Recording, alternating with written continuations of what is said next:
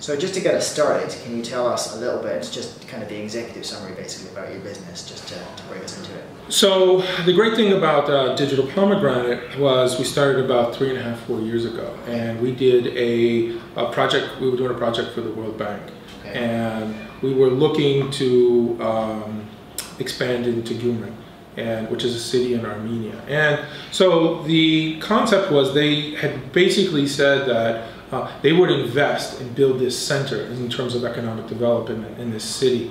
Um, but they needed an anchor tenant. So they had an old university that had been crushed by an earthquake many years ago.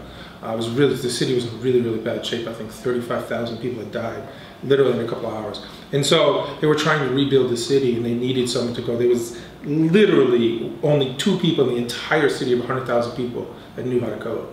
And so we basically agreed we were going to do it, we were going to go there, and we were going to teach people how to code. The problem was they needed the app mobile and desktop. Right. And then essentially I said, how am I going to teach people this? Yeah, yeah. There's no way. From scratch. Yeah.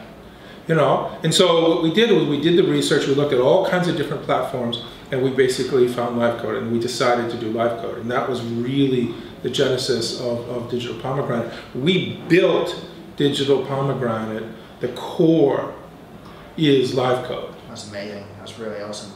So going back to the very start of your business, what you, you, you went out to Armenia. What took you? Why did you choose Armenia? Did you My wife was Armenian. Your wife was Armenian. yeah, that's a pretty good answer. Yeah. Happy wife, happy life. Remember that one.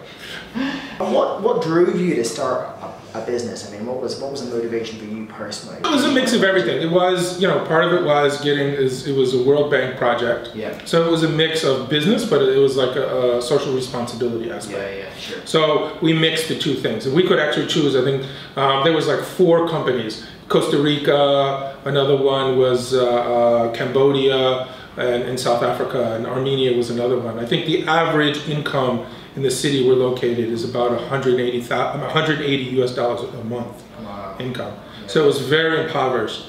And so, um, so, but I went there, not, CSR was part of it, just to be able to come in and try to help and make a difference. Because I had had a large, successful companies over a number of years. So I wanted to do something different. And I wanted just to, to build some pride in their, in their city and their community. Sure, yeah, no, that sounds like a really, a really But I also wanted to be focused on profit. Yeah, yeah. It wasn't just like a nonprofit. We wanted to focus and create a real startup company. Yeah, yeah. So talk to me about the World Bank piece. I mean, was that uh, did you did you pitch for that? Were you aware of that? What sort of got you involved in that? No, it was just they just had a, uh, like a public, and you know they just had a, uh, a pronouncement. It was a, we had done some financial software, uh, but primarily it was more personal than a particular project. Sure. And then when we saw it was there and it worked out great, it was like this was like the perfect thing. It was it was an app. Yeah, yeah. Um, primarily, um, it was a small app. Sure. But the whole idea was getting the feet on the ground and making it happen. Yeah, yeah. And you know, we had, you know, I had done, I'd set up outsource centers in India before, in China, I had been in Tunisia. So I had done, you know, years of development for Airbus, years and years and a bunch of financial software down on Wall Street. So I knew what I was getting into. Um, all in all, I think it was it's a really great experience. Sure. But I can tell you that experience fundamentally uh, was made different with LiveCode.